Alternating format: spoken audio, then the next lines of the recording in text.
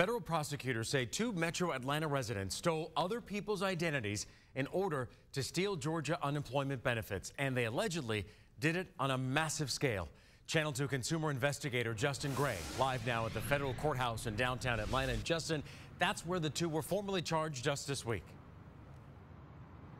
And George, the grand jury indictment says the two became millionaires by stealing unemployment benefits. They're now facing a long list of charges, and they are now. They are not sorry about that. They are now facing a long list of charges, and this case says they used stolen identities to get there. Hey there, I'm Justin Gray with Channel 2. We're looking for Wayne Lo or Sunita Daniel. He doesn't live here? No. Did he ever live here? No, you you at the wrong house.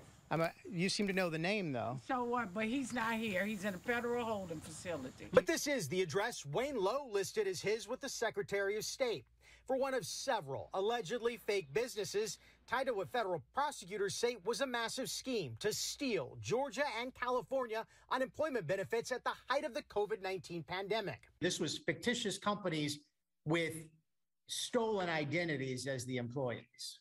Right. I mean, it was very sophisticated. Georgia Labor Commissioner Mark Butler tells me his office paid out unemployment for the fake companies because the employees were real employees with real social security numbers. The sham companies even correctly filed their quarterly taxes. According to this federal grand jury indictment of Wayne Lo and Sunita Daniel, they used the names and social security numbers of people who had no knowledge of the scheme. They stole identities pocketing the unemployment payments for themselves.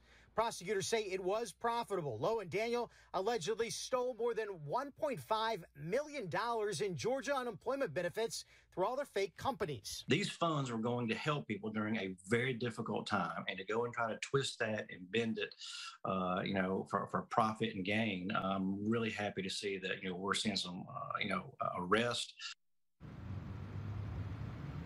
and what about all those stolen identities? It turns out many of the people whose identities were stolen didn't even live in Georgia. Over the past couple of years, we've told you about people who got surprise tax bills for unemployment benefits they never applied for or never received their identities stolen. We're working on that part of this story, all new for 6 o'clock. Live in downtown Atlanta, Justin Gray, Channel 2 Action News.